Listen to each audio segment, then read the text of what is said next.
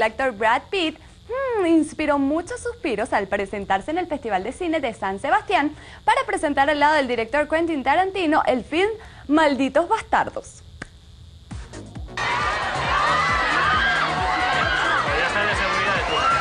Aunque se presentó con una imagen desaliñada, luciendo barba, lentes de sol y gorra, el actor despertó la locura de las fans, quienes lo esperaron por horas en las afueras del hotel. Pete firmó autógrafos, posó para las fotos con sus seguidoras con mucha amabilidad y simpatía.